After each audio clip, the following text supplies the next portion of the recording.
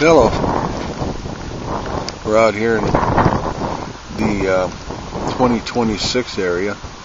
I was just looking at this fence. It's all old tractor wheels. Or, I don't know if it's tractor wheels or if it's water uh, things that keep the water moving. I think it's tractor wheels though. Kind of a neat fence. So from a tractor fence here out in 2026 in the between Caldwell and Star, we're out.